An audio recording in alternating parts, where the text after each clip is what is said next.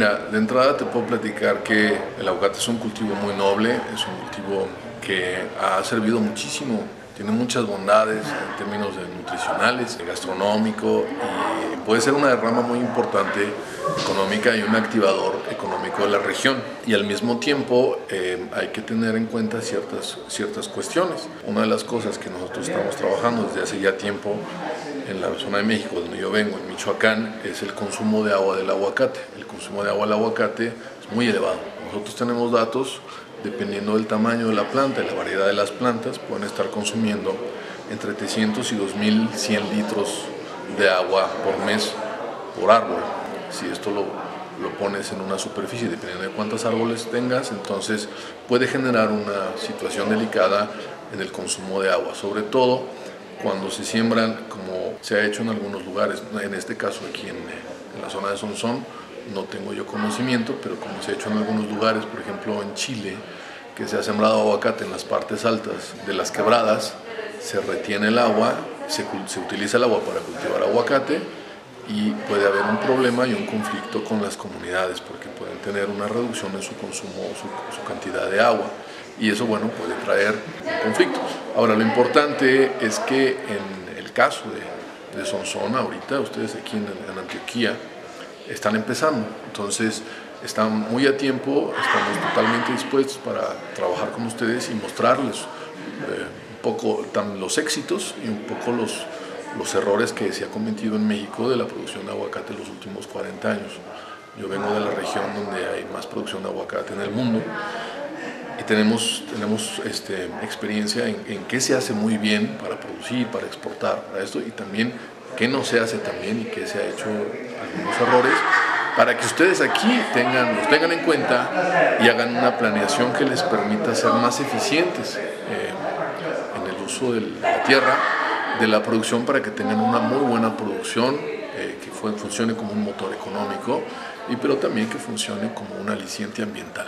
Pues mientras más acaben con los bosques, menos posibilidades de que haya agua lluvia, más distantes las lluvias en el año, la pluviosidad. Eso es pues gravísimo me parece que es trascendental para nosotros que nos damos el lujo y nos sentimos a boca llena y es que tenemos páramo, pero ¿hasta cuándo vamos a tener ese páramo? Yo saco una reflexión de la vivencia personal, que es que ya hay un alto porcentaje de la problemática que ustedes han relacionado en esa exposición en esta región. Ya hay problemáticas, ya las tenemos. No voy a entrar a mencionarlas pues para no ser extensivo. Sin embargo, también hay unas experiencias exitosas, muy mínimas, en algunas personas individuales y grupos organizados en la experiencia de producción orgánica.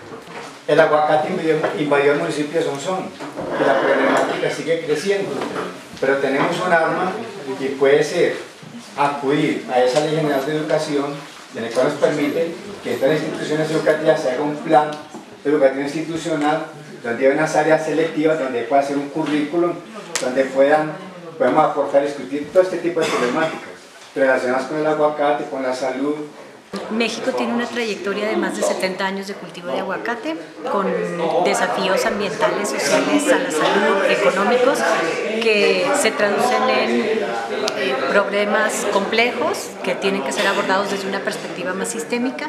Y la recomendación para la gente de aquí del Sonsón sería que se hicieran comisiones comunitarias, se pusiera la información sobre la mesa sobre los principales desafíos y implicaciones que tiene el cultivo del aguacate relacionado con el manejo agrícola, con las prácticas de cultivo, de producción, de comercialización y con los efectos que pueden tener tanto a nivel ambiental por el consumo de agua, por la aplicación de agroquímicos en las huertas, así como con la exposición personal a tóxicos del ambiente. ¿Por qué no hemos analizado por qué se entró el aguacate aquí? Nadie se ha puesto a pensar qué pasaba con la zanahoria cuando no la arrancaban, dejaban perder la zanahoria porque daba más pérdida si la arrancaban. ¿Por qué? Porque faltan las políticas de Estado. ¿Por qué el maíz desapareció? Porque empezaban a traer transgénicos. Entonces un, un dueño de un predio, viendo que el maíz, la zanahoria, la papa no da ganancias, y llega una persona de afuera y le compra las tierras, yo lo vende ¿Qué ha pasado con el aguacate aquí? Que nosotros tenemos un impedimento muy grande que es lo que hablaron ahora, que es el plan de básico ordenamiento territorial, porque es un plan hecho en el 2001, cuando había unas condiciones distintas a las que hay ahora. Los ponentes decían, Sonsón tiene mucha agua. Sí, Sonsón tiene mucha agua y tenemos un páramo. Pero precisamente esa riqueza es la peor desgracia a la que nos vamos y nos estamos enfrentando. Microcentrales para todos los ríos. Minería, eh, monocultivos de aguacate, granadilla, eh, hortensia, gulupa, etcétera, etcétera. El municipio de Sonsón no posee estos cultivos con unos planes, con unos proyectos, con una planificación, no.